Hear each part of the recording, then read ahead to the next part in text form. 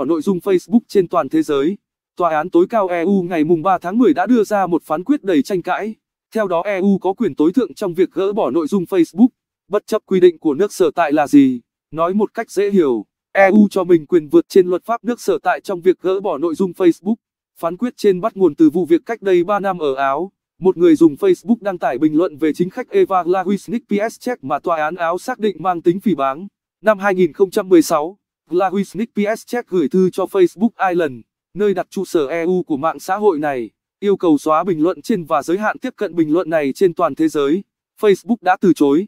Glawisnik Pieszczek lập tức đâm đơn kiện lên EU, và phán quyết được đưa ra ngày hôm qua. Facebook hiện có khoảng 2,4 tỷ người dùng trên toàn thế giới, trong đó châu Âu có 385 triệu người dùng. Facebook cho rằng phán quyết của EU áp đặt quyền truy cập và giới hạn nội dung cho hơn 2 tỷ người dùng còn lại.